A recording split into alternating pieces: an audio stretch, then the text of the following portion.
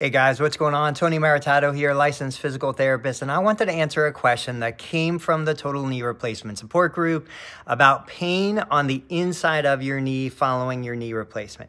So there's something called a pes anserine bursitis. There's a bursa.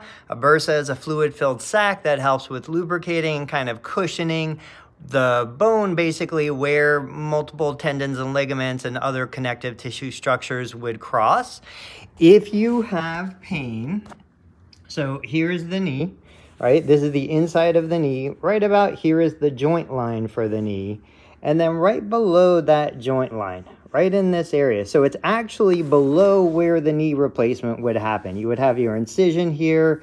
If I come out to the side, this is underneath the tibial plateau, and you might have pain right into this area. If you press along the side of the shin bone, you're going to feel it. It's going to be sharp and tense. That might be pes anserine bursitis. And if it is, a little gentle cross fiber massage, parallel massage, even just becoming partly aware of it is going to have a huge impact in reducing some of this pain. If you've seen some of my videos on cupping, cupping is a strategy you can use to help reduce or alleviate some of the sensitivity in here.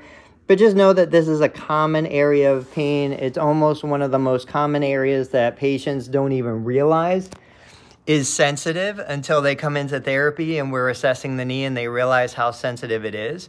So you could use an ice massage. If you want videos on how to do a manual ice massage, just let me know in the comments below. Suction cup, a little rolling pin. There's lots of different ways to address the sensitivity in that area. But research pes anserine bursitis and check it out. Thanks for watching, guys.